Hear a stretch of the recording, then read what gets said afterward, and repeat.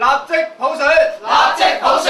佔領中環，佔領中環。民間人權陣線發起七一遊行，當日下晝一點半先喺維園集合，兩點半出發遊行到中環遮打道行人專用區，之後舉行集會到夜晚十點，並呼籲市民着上白色衫參與。民陣估計今年參與七一遊行嘅人數會比往年多，估計有五萬人上街。民陣將會派出二百名糾察維持秩序，而警方亦首次主動開放軒尼斯道東西行電車路俾遊行人士。民陣相信係警方都估計今年遊行人數將會相當多，但希望警方唔好打壓街站，尊重表達自由同公民社會發展空間。對於有建制派喺七一舉行購物優惠等活動，民陣召集人孔令如話：呢種試圖減少七一遊行人數嘅行為係國際笑話，亦無助減少社會怨氣。